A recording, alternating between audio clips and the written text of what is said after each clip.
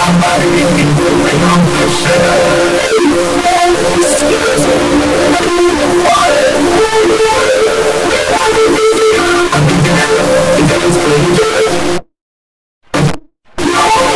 I'm